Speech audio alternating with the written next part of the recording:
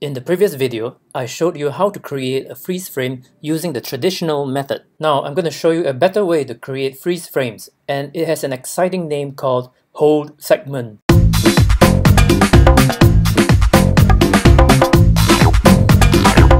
Go to the timeline and select the video clip you want to freeze. Move the playhead to that particular frame. Go to the toolbar, click on the retime button.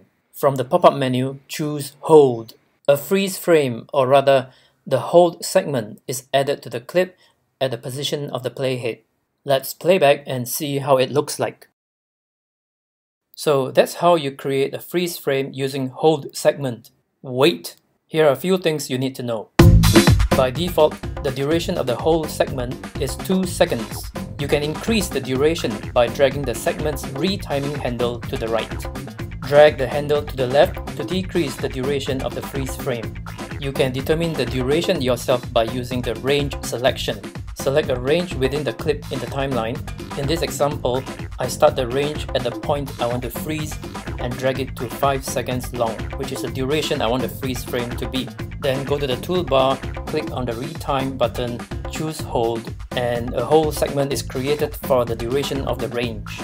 Keyboard shortcuts First, select the clip on the timeline, press Command R to show the retime editor, position the playhead over the frame you want to freeze, press Shift H to create the hold segment. Let me create another hold segment, press Shift H. Let's do one more, press Shift H.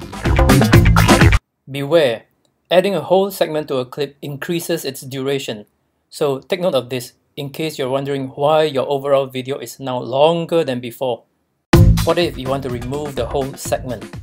Use the range selection, select the hold segment area, go to the toolbar, retime, choose normal 100%. Or if you want to bring the entire clip back to normal, select the whole clip and then choose normal 100%.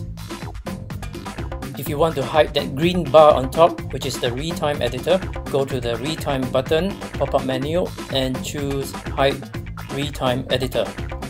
And now for the final tip. Notice the green bars beside the red hold segment? This is for you to create fast forward effects and slow motion effects. To see how I do it, watch the next video on how to create fast forward and slow motion.